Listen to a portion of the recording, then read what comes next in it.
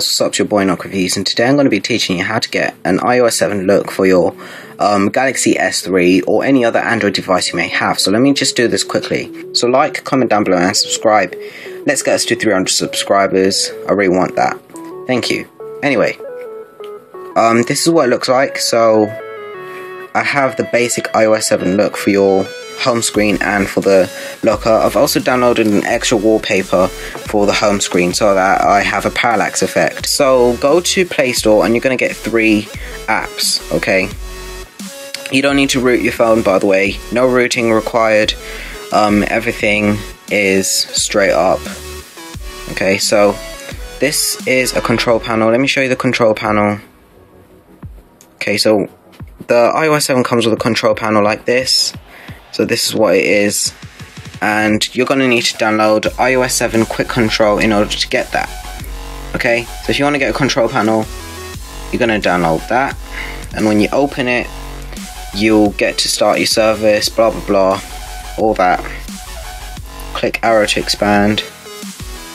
And then you can also choose the width of where you want the arrow to affect. As sometimes, if you put it on full width, it does block out all your um, keypad. Keypad. So if you want to stop that, you will adjust it. I don't know if you can see that. Just experiment with this, okay? Experiment with it. I don't want to talk about this for too long. You're then going to search up Espier Studio because they publish the rest of the stuff we're going to need. And the first thing you're going to get is Espier Screen Locker iOS 7. Now this will give you the screen locker that you need, okay?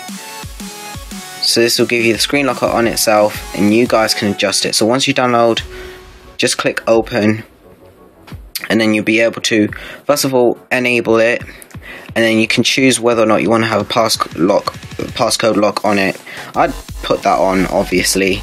Don't use the camera because what the camera is, it is a bit glitchy and it is stupid um, because you could easily bypass it, the lock, just by opening the camera and clicking back because it doesn't take you back to the passcode lock, it actually takes you back into the phone. So you don't want to do that, okay? But then you're then going to get Espier Launcher iOS 7. Now, this is the basic thing that will give you everything you need except the parallax effect. Okay, so this will give you um, the whole theme. Open it up. Sorry, I'm looking through a camera right now, so it is really weird. Okay, so when you open that, it will ask you for validation. Just click OK and it will validate that um, the version is real as they don't want people using a fake version of their app. But if you pull up the screen like this, you can sort of get a little um, dashboard there like you do on Apple phones and you can close stuff. But then if you slide from the middle where you've set the bar to be, you get the control panel. Now, if you want to get the parallax effect, you're going to search up for um, I, I, know a lot of people are going to want to see how to get the parallax. So you search up iOS 7 wallpaper. Yeah. And you're going to get this one, the iOS 7 Live Wallpaper 3D. Now that will give you a parallax effect. Um, I've installed it and it's currently being used. So you literally go to settings, my wallpaper, change it, and it should have. Wait, let me just go to settings right now. I don't want to make the video really long guys, I don't like having long videos anymore, but if you really want to know how I do this, I'll show you. Go to display, wallpaper, um, home screen, at home screen, okay.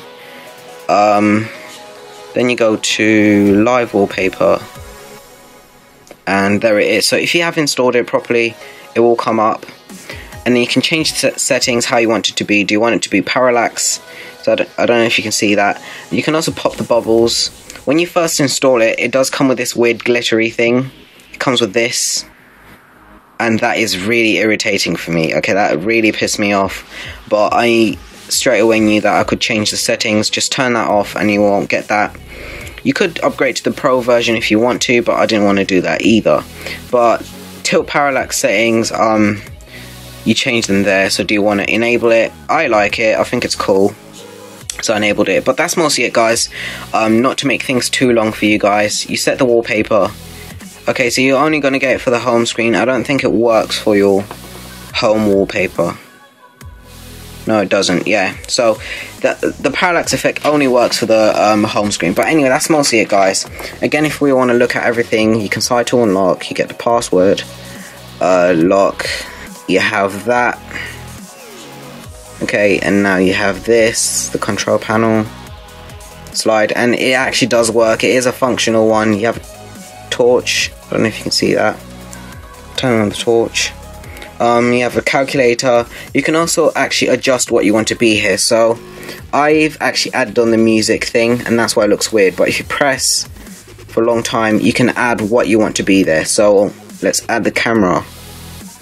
Okay, now when we slide up, we should have a camera there.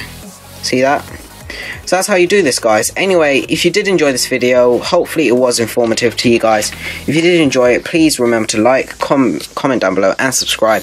If you didn't, still remember to like, comment down below and subscribe because anyway, it was quite a good tutorial and I think this is a really awesome add-on. So um do check these out, do do this stuff and enjoy yourselves. This is YouTube, it was your boy Enoch Reviews.